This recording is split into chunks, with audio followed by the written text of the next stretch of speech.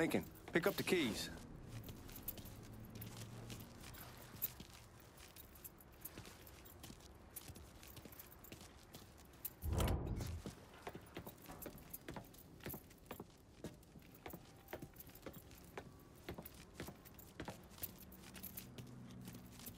Hey, man, grab those keys. Still not sure about leaving him like this. He came through with the truck just like we asked. He mm. greased his partner to make it look good. But if you got doubts, mm. why take the chance?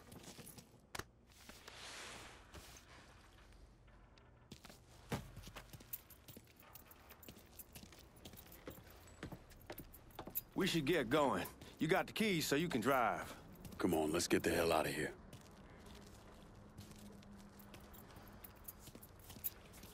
You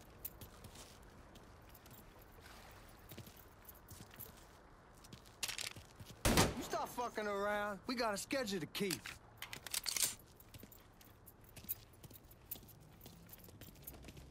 Let's go, man. The clock's ticking.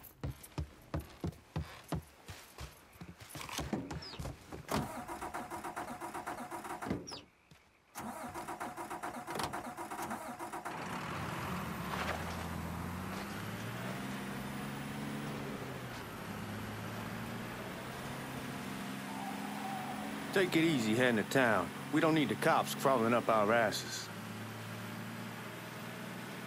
Ah, that poor fuck back there. He ain't got no idea what he's in for. What was his cut? 5%? Thereabouts, but not like he'll be able to spend it. Feds will be watching his every move for the rest of his life. Probably be better we just whacked him. Well, If I learned anything in Nam, always a good idea to dangle someone out there. Use them to get everybody's attention, and you just slip away. So answer me this. What's the craziest thing you saw over there? You don't want to know.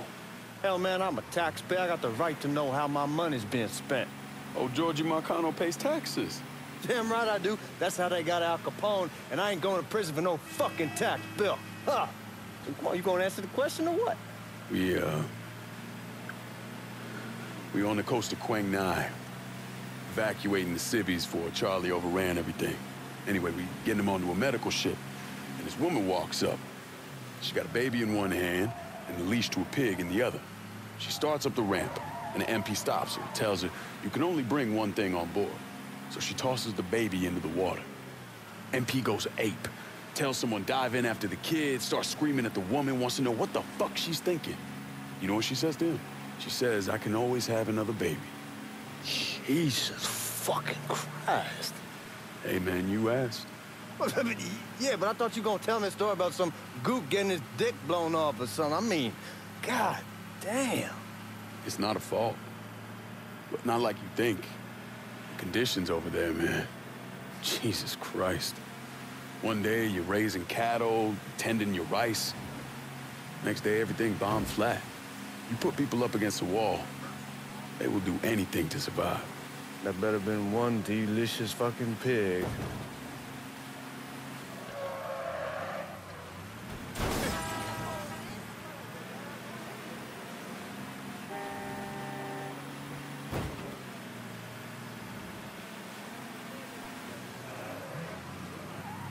Guards at the reserve probably won't be too keen on you waltzing around with that piece of yours. I'll just leave it under the seat.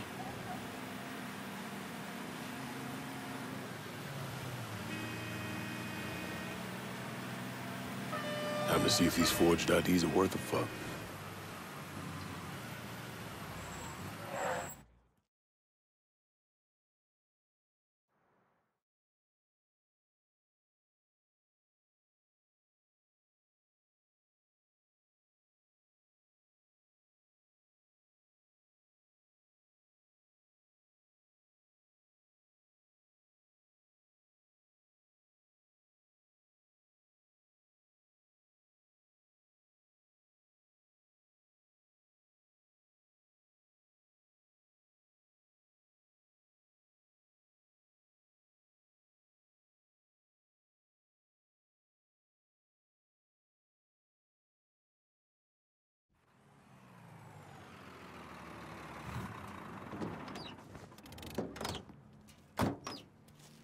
When I say something about being hot, that's when we make our move. All right.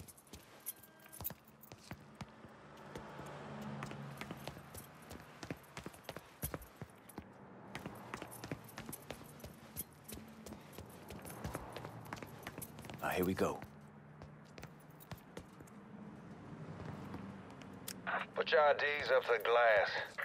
We're part of the Boeing crew. The fuck's this shitheel doing here? Affirmative action. You know how it is.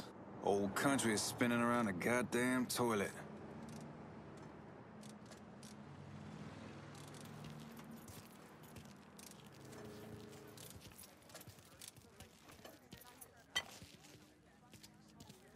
You can follow me.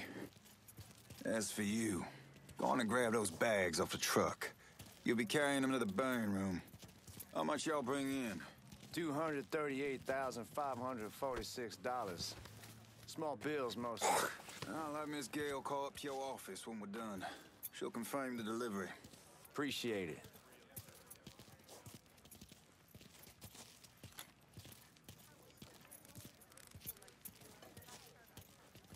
You need to check that scatter gun.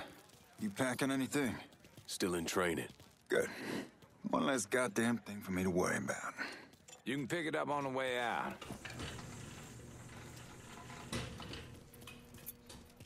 Buying room's down in the cellar. This way. I ain't seen y'all around these parts before. Y'all's over in Georgia for a while. He just got out the service. Hmm. My cousin's been trying to get on here for over a year now. Was in the Navy for two tours, got medals falling out of his ass. Government tells him thanks, but no thanks.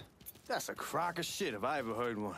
Sad day when a God-fearing white man can't get a job, but that old nigga who staggers in is hired on the spot.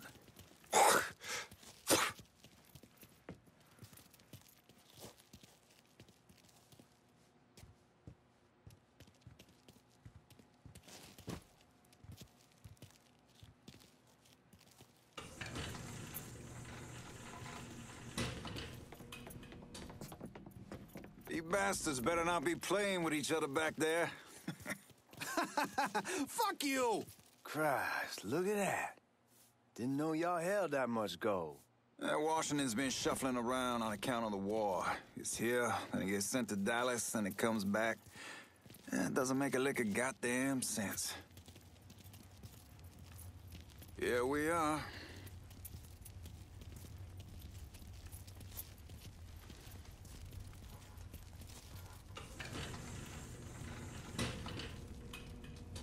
Put those bags on the table there.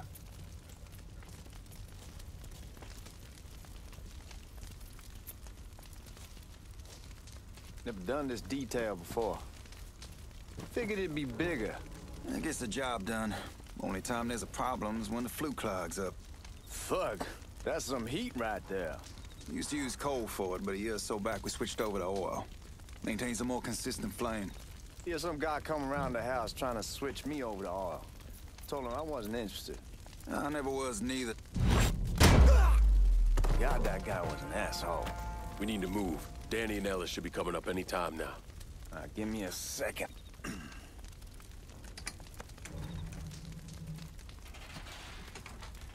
right, you take care of those guards. Keep your ass down. You don't want them getting a drop on us. I know what the fuck I'm doing.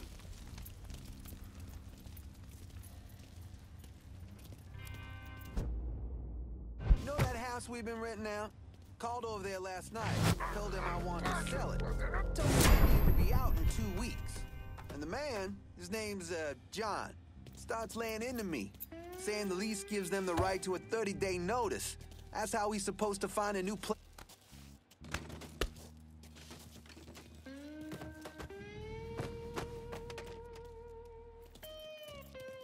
Lincoln, get over here, man.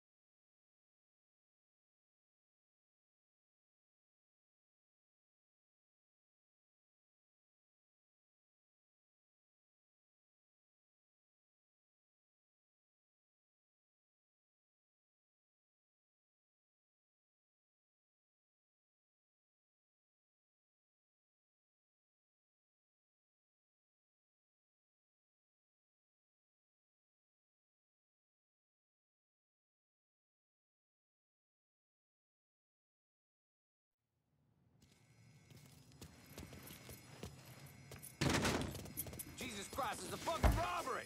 I'll go for help. What's he think he's doing? Need to get behind something!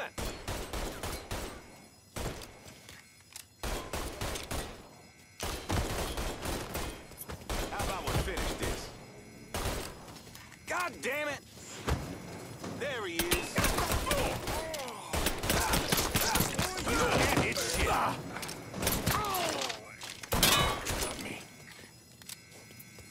Beat up you dumb.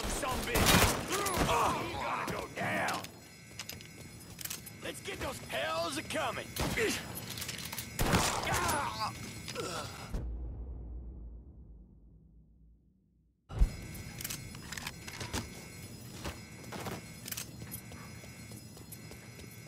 Goddamn, we sure kicked the hornet's nest this time.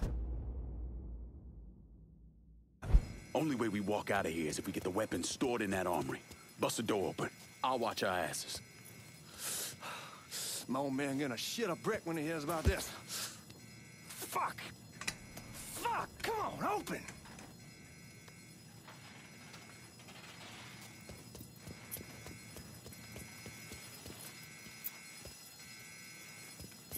God damn it, why won't this open?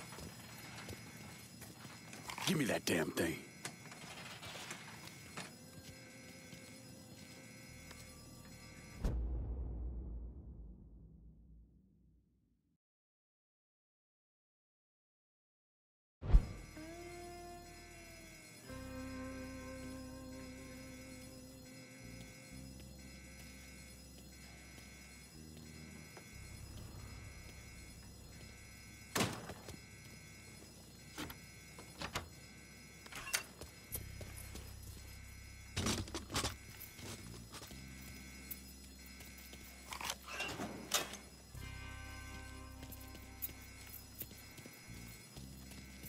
The smoke. Shit, man, these guys ain't fucking around. Faced way worse than this over in Nam. Little smoke don't mean shit. Stay close to the vault, watch for the drill. I'll deal with these assholes. Boys, I got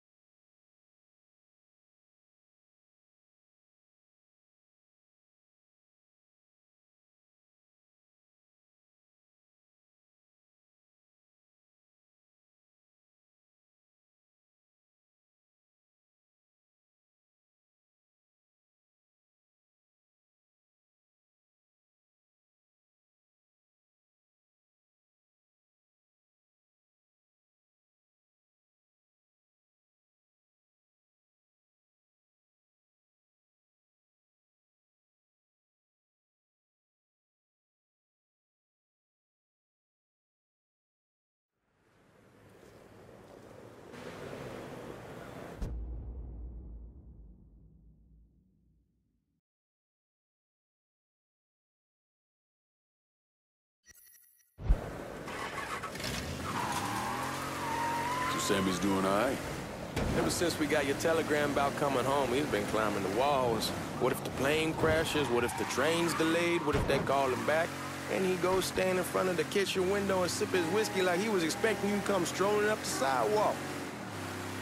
Don't say nothing about me telling you that. I won't. He'll be fine once he sees you. Ever since Mama Hell, you know how he gets.